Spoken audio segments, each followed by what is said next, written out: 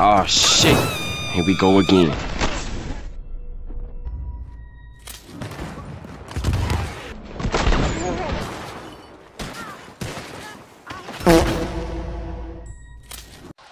Let's do this!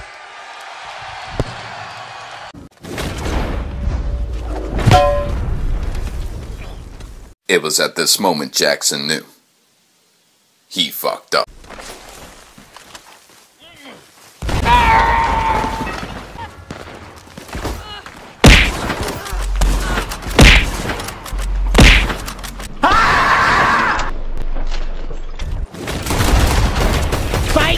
That's the wrong number!